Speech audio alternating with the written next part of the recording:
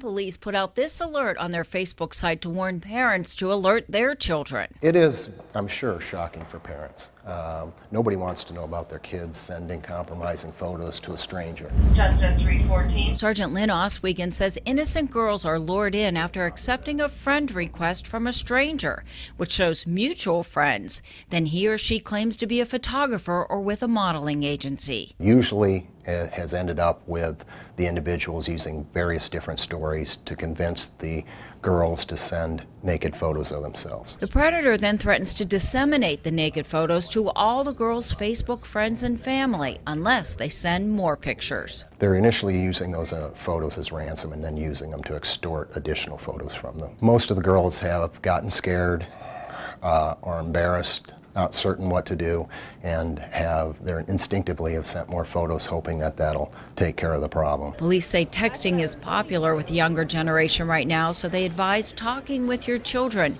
monitoring their online activity, and telling them not to accept strangers as Facebook friends. Regardless of your age, never send any photos. Uh, especially ones that show naked images of yourself or compromising images of yourself, because once those photos are out there, you can't get them back.